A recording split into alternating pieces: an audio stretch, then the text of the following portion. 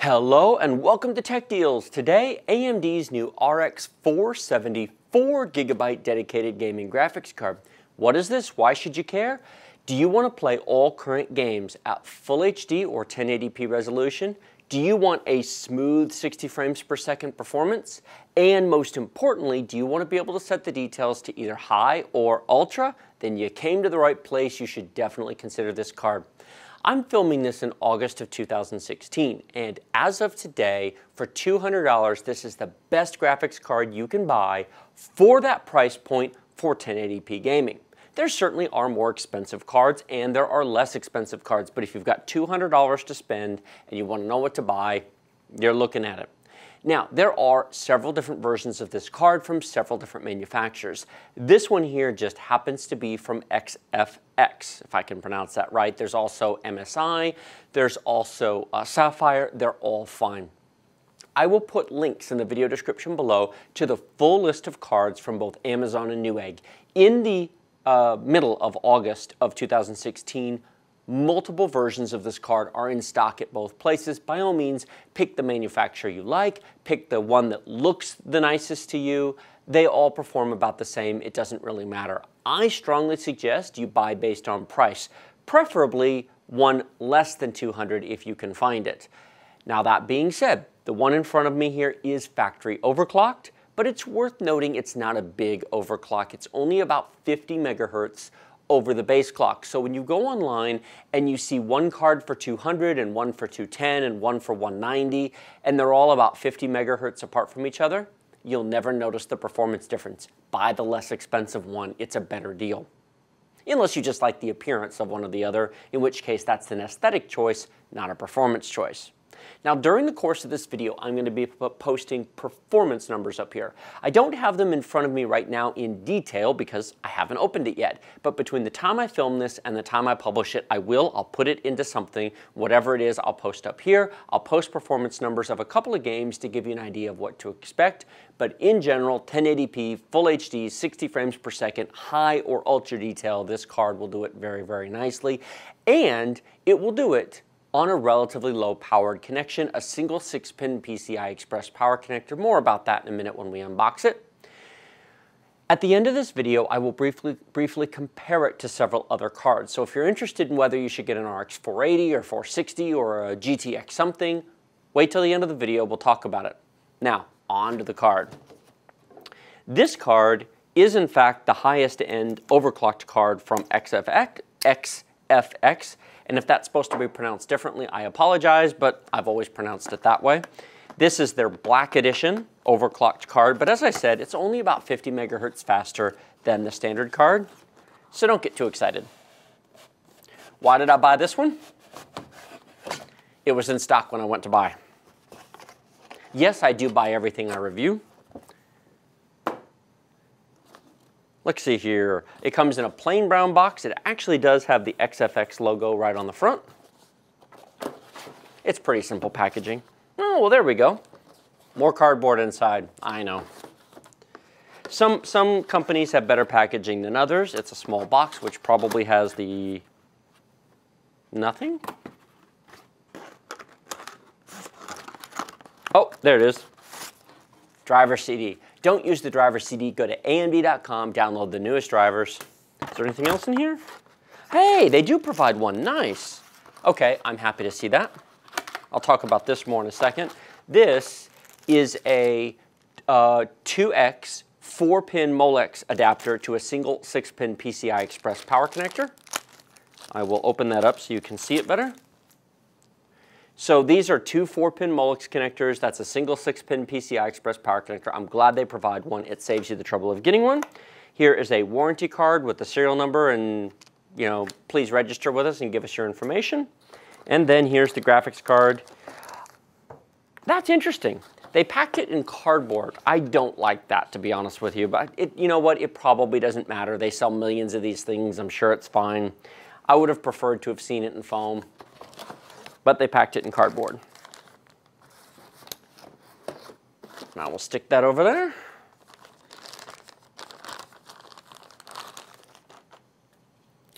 And here's the card covered in lots of plastic. They love to cover these in plastic for some reason. I'm sure it preserves and makes it look nice.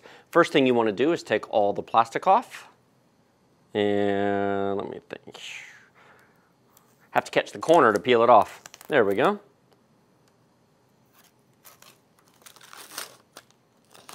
This, um, this red sticker here just says uh, this is a zero speed fan. Essentially, um, what that means, here, let me take that off.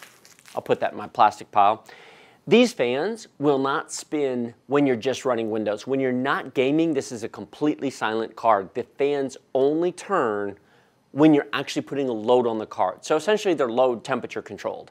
So if you want a very, very quiet computer, you put this card in when you're just browsing the web, when you're just watching a, a, Netflix video, these fans won't turn, your computer will be very, very quiet, or at least as quiet as it was before you put the card in.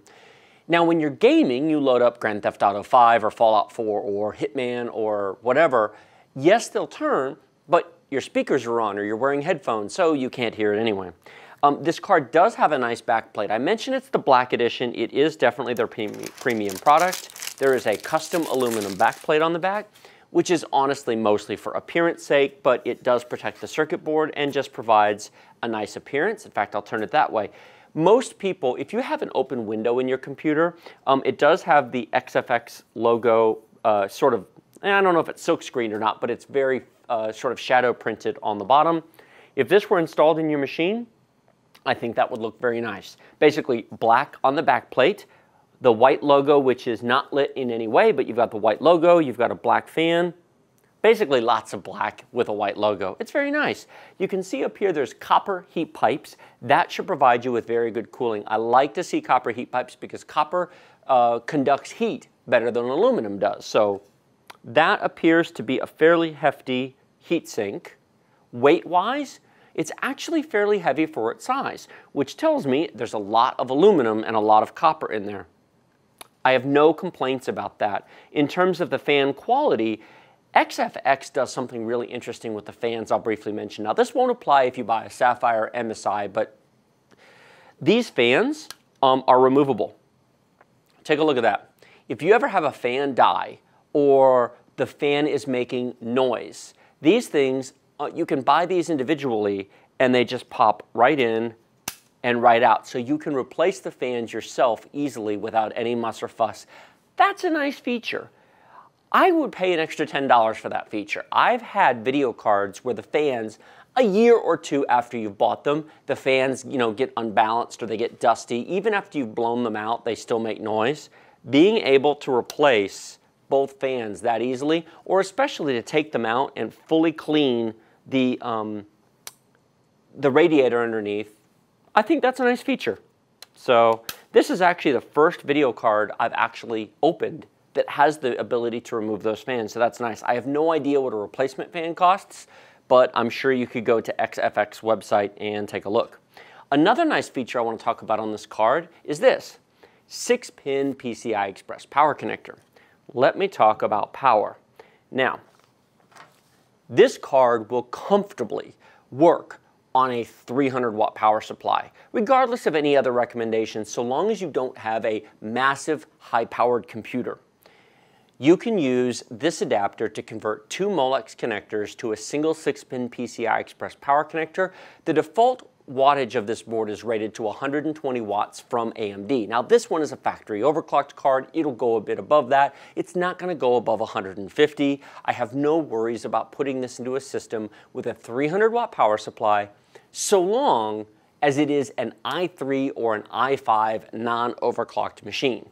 Um, I am actually probably going to put this machine into the Asus M32 CD i3-6100 that I've previously reviewed and do live game performance demos. Um, i am putting numbers up here but keep in mind there's a difference between an average frame rate and playability. The question is how well does the game play? I'll put the monitor here, I'll have the computer here, I'll have the card in, I'll play the game live, not in a benchmark, but actually in the game to give you an idea of how smooth the performance is, how well does it play, how responsive are the characters, does it make noise? Um, that, those are real benchmarks. Those are real performance, uh, not benchmarks, that's real world testing. I'm going to use this adapter, this card, and that machine. It'll work just fine. So I like the RX 470 for its lower power consumption over the 480. It's easier to install in more machines. Note, the MSI Gaming X RX 470 has an 8-pin connector. You would have to replace the power supply on that card. So in that regard, if you now if you've got a 500 watt or bigger power supply, if you have a custom machine you built yourself, this isn't an issue. You should have an 8-pin connector. But if you have a pre-built and you only have a 6-pin available or you need to use the adapter, buy the Gigabyte, the Sapphire, or the XFX because they each have a version with a 6-pin connector. The MSI Gaming X has an 8-pin. Although it's a very nice card, it just you have to be aware of that. Ports, let's talk about ports for a minute. Let me take all the covers off. They've got small covers on these. These are uh, tricky to get off. They don't have a pull pin, but that's okay. There are five video ports on this card. There is a DVI-D, which I'll show you in a second. Um, note that these are not DVI-Is, it's DVI-D. Now, AMD got rid of this support actually two generations ago on the 200 series. NVIDIA just got rid of it on the 1000 series. You can no longer use, here's the DVI-D port right here. That is a dual link connector. You can connect up to a 1440p monitor to it at 60 hertz just fine, but it does not support using the inexpensive small adapters to connect a VGA monitor. If you have a VGA monitor and you have an older graphics card and you're using either a VGA port or an adapter, one of the short adapters about that long that converts the VGA, uh, the 15-pin blue connector to the DVI port, you can't plug it in here. Now there are active adapters you can buy that will plug into ports and work, but they cost more. I mean, those little adapters come free with many cards. They're $2. You can't use them. HDMI is right here. There is a single HDMI 2.0 port. This will support 4K at 60 hertz. Why 4K? Why is that important? This is a 1080p gaming card, but you can easily plug a 4K monitor into this and run just fine. There's no reason why you cannot plug a 4K card into the a 4K monitor into this. Now, it will not game at 4K. It will not even come close to gaming at 4K. But you can game at 1080p on a 4K monitor. 4K is exactly four times the resolution, double the width and double the height. If you set your games at 1080p, it will scale perfectly on a 4K display. So in Windows, you can have high resolution uh, graphics, you can run your programs, your web browsing in very high quality on a 4K monitor, but set your games to 1080p and they'll play at 60 frames per second smoothly.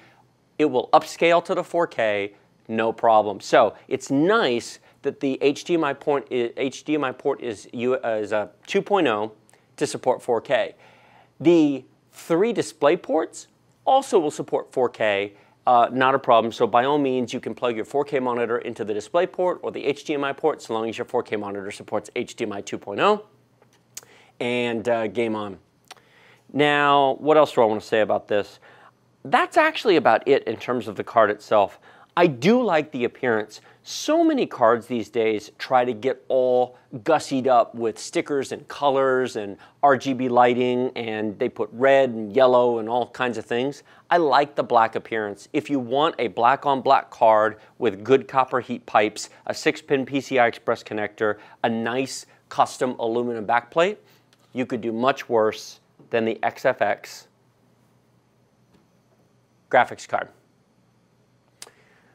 Um, I mentioned before I would talk about different cards uh, towards the end of this video. Let me briefly talk about the RX 480 and then I'll talk about the RX 460. These cards are all running about $200. There's one or two that you can see at 190. Most of them are at 200. A couple of them are at 210, 220. I think this one right now is running at 220 because it's the kind of the top of the line premium product that they offer. It's the black edition. The list price of the RX 480 4 gigabyte card is $200. If you can find one in stock, by all means buy one because the RX 480 is 10 to 15% faster. The thing is, it has been out of stock all month long and it might be in stock by the time you watch this or it might not. It also might come back in stock at a higher price. If they're selling that well, they might raise the price by 20 or $30. Would I pay 220 for an RX 480 over 200 for this? Sure. If you want an extra 10% performance, $20 over 200 is 10% more money, For 10% more performance, there's no problem with that. Would I pay 240 or 250 for an RX 480? No, I would not, because it's not worth the, the price increase for an extra 10% or so performance. Not to mention the fact that as we go into the fall, I fully expect the price of these to drop by 10 or $20. You may very well find these for 180. And 180, this is definitely a good buy. Going down, what about the RX 460? The RX 470 and 480 are very close in performance. The 460 is not. In fact, the 460 in some situations is less than half the performance of the 470. It actually has less than half the shaders of the 470. It is a completely different card at a completely different price point, except that there are a few that they're trying to sell for 150 and you should never pay 150. But that's really a good $120 card. So the RX 460 is a completely different product at a completely different price point than the 470. The 470 is a no compromises 1080p card, the 460 is not. Now the 480 is faster if you can find one. What about NVIDIA? What do they offer? Well, NVIDIA's next generation card that comes closest to this is the GTX 1060. Here's the problem. The least expensive 1060 I would recommend buying is $260. That really puts it out of this price category, especially if you can find one of these for 180 or 190. That's not really competition in my eyes. Later this year, I fully expect NVIDIA will come out with a GTX 1050, which probably will be at about $200 and may very well compete with this. That being said, in next generation games, this card compares very favorably to the performance of a GTX 1060. The GTX 1060 in older games, DirectX 11 games such as Grand Theft Auto 5 and Fallout 4, is faster than this card. But in newer DirectX 12 games, it's not. You take a game like Hitman, Ashes of the Singularity, um, Doom, using the new Vulkan technology, those games play almost as fast within 5% on this RX 470 as they do on the GTX 1060, which costs more. So the question is, are you primarily interested in playing current generation games that use DirectX 11? Or are you interested in buying a card for the next three years that will play all the next generation games and you don't want to upgrade for a while? For $200 or less, this is an awfully good value for your money because of its excellent DirectX 12 support. So that's the AMD RX 470 4 gigabyte card. I don't recommend the 8 gigabyte. Somebody's bound to say, what about the 8 gigabyte card? Don't bother with the 8 gigabyte card. If you're going to buy the 8 gigabyte card, you might as well step up to the RX 480 because the price premium they're asking for the 8 gigabyte versions of these doesn't make any sense. But I think at 200 or less, this makes a lot of sense. Did you like this video? Click like. Did you not? Don't. Remember to subscribe to my channel. If you do subscribe to my channel, you'll get notifications for when the live performance demos of this come out, including when I put it into that Asus M32 uh, CD machine and show you how well it performs. Leave your questions, comments, thoughts, feedback, and suggestions in the comment section below. And definitely check out the links in the description below. They'll take you to both Amazon and Newegg. I will specifically link this card because I reviewed it, but also take a look at the links to all the RX 470 cards at both places Buy whatever you prefer in terms of manufacturer, appearance, and price. Thank you very much for watching, and I will see you in the next video.